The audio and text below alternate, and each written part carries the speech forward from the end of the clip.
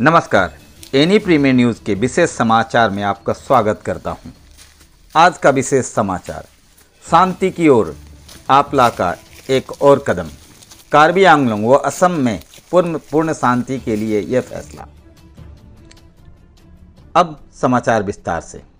गणतंत्र दिवस से पहले आदिवासी विद्रोही संगठन आपला मुख्य धारा में आने को तत्पर। गणतंत्र दिवस से पहले आदिवासी विद्रोही संगठन आदिवासी पीपुल लिबरेशन आर्मी अर्थात आपला मुख्य धारा में लौट आएँगे। आदिवासी पीपुल लिबरेशन के 40 से अधिक कैडर 26 जनवरी से पहले आत्मसमर्पण करेंगे।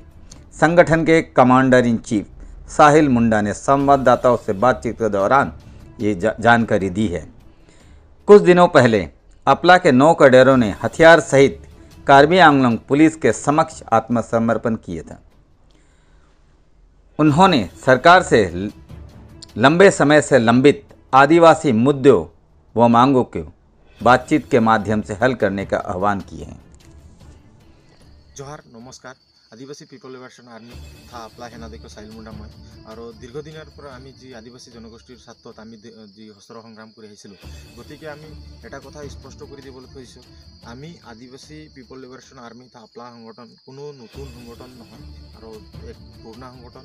মই বিভিন্ন সমস্যাৰ পৰা মই মিডিয়াৰ যোগেদি ছ'চিয়েল মিডিয়াৰ যোগেদি হওক মই বিভিন্ন ঠাইৰ পৰা মই জনাইছিলোঁ যে গতিকে এই সংগঠনখন কোনো মানে নতুন সংগঠন নহয়।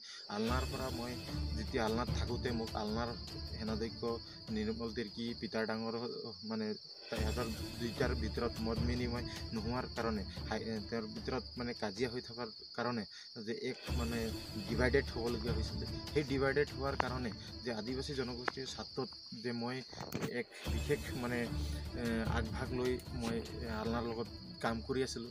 গতিকে মই চাই পালোঁ যে আলনাৰ হৈ আমি কাম কৰি আমি একো সুবিধা নাপালোঁ। লেকিন সুবিধা নোপোৱাৰ স্বাৰ্থতো মই নিজকে নিজে আত্মসমৰ্পণ কৰিবলৈ গৈছিলোঁ চেলেণ্ডাৰ কৰিব গৈছিলোঁ। সেইটো আমি- মই সুবিধা নাপালোঁ। সেইকাৰণে মই নিজৰ মানে নিজৰ চিপাহীক লৈ মই নিজে নিজৰ পথ বাছি মই জংঘলত আহিছিলোঁ গতিকে মই এটা কথা স্পষ্ট কৰি দিবলৈ কৈছোঁ মই কোনো মানে চৰকাৰৰ দাবী ধমকি জনা নাছিলোঁ লেকিন মোৰ এটাই কথা আছে যে আমাক যোনটোৱে তেওঁলোকে একৰ্ড কৰিলে সেই একৰ্ডত আমাক মানে আমি অধিকাৰ পাব লাগে সেই একৰ্ড একৰ্ডৰ জৰিয়তে আমি আমাক চামিল কৰিব লাগে সেয়াই মোৰ দাবী আছে। আৰু গতিকে অসমৰ জনগোষ্ঠীৰ ছাত্ৰ আদিবাসী জনগোষ্ঠীৰ ছাত্ৰত অসমৰ আদিবাসী জনগোষ্ঠীৰ ছাত্ৰত আমি যি অস্ত্ৰ সংগ্ৰাম কৰি আহিছিলোঁ দীৰ্ঘদিনৰ পৰা সেই সমস্যা সমাধান কৰিবলৈ ক্ষেত্ৰত আমি মানে জংঘলত আহি অহাৰ উদ্দেশ্য নহয়। লেকিন আমাৰ এটা উদ্দেশ্য আছে যে আদিবাসী জনগোষ্ঠীৰ যি মূল ডিমাণ্ড আছিলে শ্বিডিউল ট্ৰাইব আৰু জনজাতিকৰণৰ মৰ্যাদা প্ৰদান কৰিব লাগে।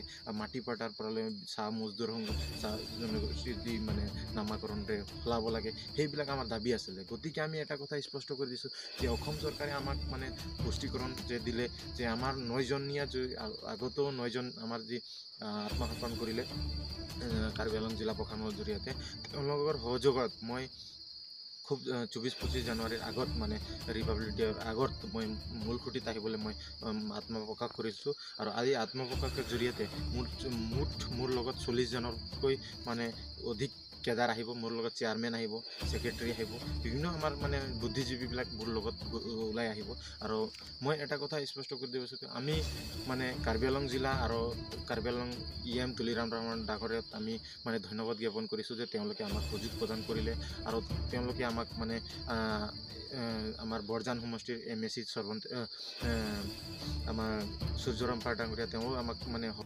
कार्बी आंगलोंग असम और उत्तर पूर्व के समाचार के अपडेट के लिए देखते रहिए Any Premier News.